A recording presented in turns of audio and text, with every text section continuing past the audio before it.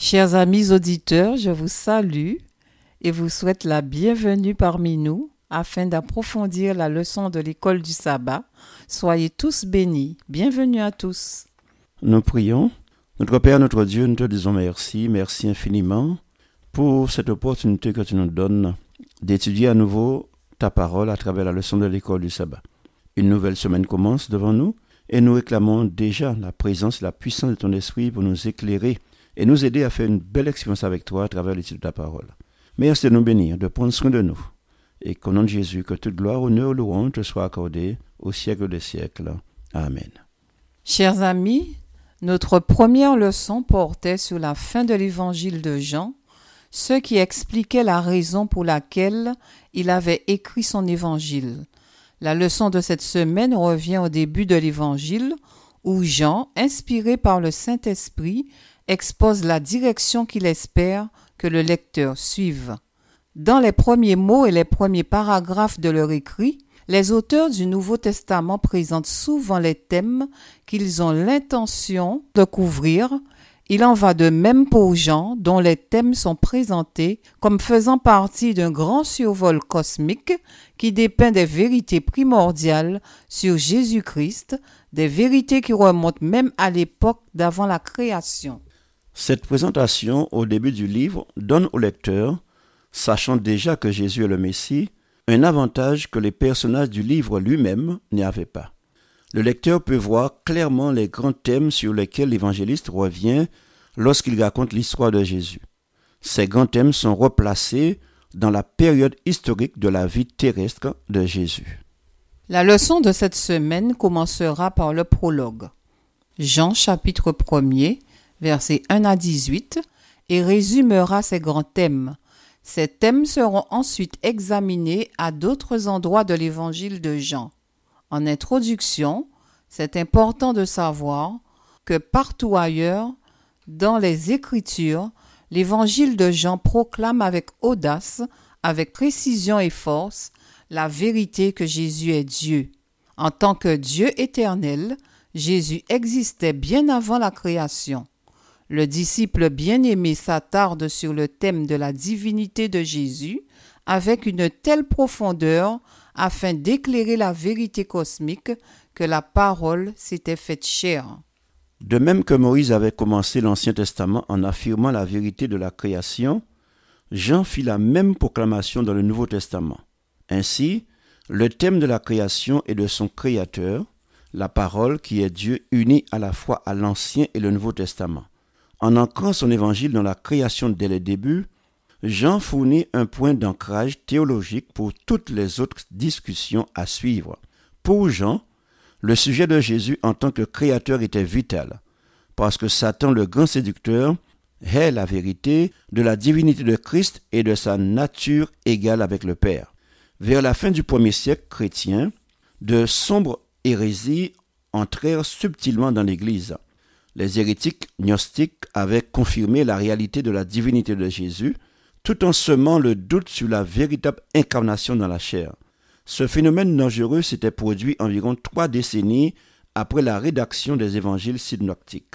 Par conséquent, cela avait découragé les croyants et abaissé le moral spirituel. Les 18 premiers versets de l'évangile de Jean constituent un prologue au reste de son évangile. Ils fournissent une déclaration théologique inébranlable, concise et compacte sur la divinité de Christ. Christ, la parole, est Dieu et l'a toujours été. Il est le Créateur, le donneur de vie et de lumière. Toutefois, il était devenu un être humain, né de Dieu, et avait démontré son amour, sa grâce et sa gloire devant sa création. Maintenant, permettez-moi de partager avec vous quelques questions clés afin de vous donner un avant-goût de ce que nous allons étudier cette semaine. Pourquoi Jean commence-t-il son évangile en parlant de Jésus dans son rôle de créateur? Pourquoi la pleine divinité de Christ est-elle une partie si importante dans notre théologie? Que perdrions-nous si Jésus, d'une manière ou d'une autre, n'était qu'un être créé. De quelle manière vivez-vous votre foi en Jésus au lieu de simplement avoir un assentiment intellectuel pour lui en tant que Messie, Pourquoi est-il important de connaître la différence? Vous arrive-t-il d'être assailli par des doutes sur le caractère de Dieu, le Père? Pourquoi ou pourquoi pas? À ces sept questions qui nous préparent pour cette semaine d'études, je demande à ce que l'Esprit du Seigneur vous prépare pour les réponses, mais aussi à l'expérience que vous allez faire avec lui. Maintenant, voyons le plan de la leçon de cette semaine. Dimanche, au commencement était la parole. L'évangile de Jean commence par cette pensée étonnante. Au commencement était la parole et la parole était avec Dieu et la parole était Dieu. Nous verrons que cette belle phrase contient une profondeur de pensée que nous pouvons à peine saisir. Lundi, nous verrons la parole faite chair. Nous verrons dans cette partie que dans l'évangile de Jean, le Logos représente Dieu éternel qui entre dans le temps et l'espace, qui parle, agit et interagit avec les humains à un niveau personnel. Le Dieu éternel était devenu un être humain, l'un de nous. Mardi, entendre ou ne pas entendre la parole.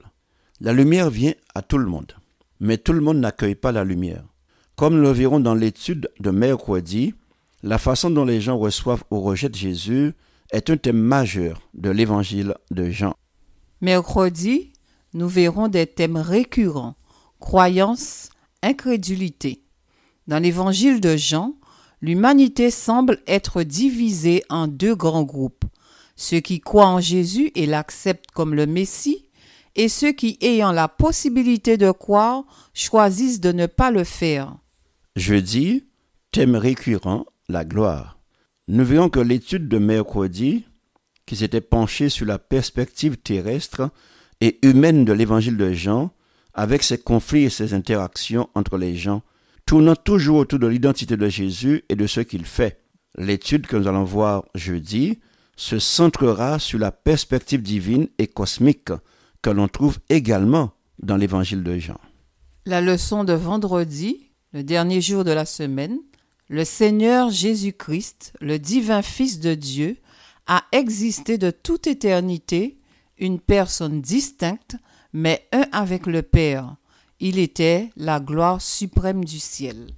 En conclusion donc, l'évangile de Jean fournit une déclaration sur la divinité de Christ. Il dit Jésus-Christ, la parole, est Dieu et l'a toujours été. Il est le Créateur, le donneur de vie et de lumière. Toutefois, il était devenu un être humain né de Dieu et avait démontré son amour, sa grâce et sa gloire devant sa création. Prions. Seigneur éternel, Dieu de l'infini, tu nous as enseigné encore une fois que tu es le Créateur de toutes choses tu es la lumière du monde et tu es la vie.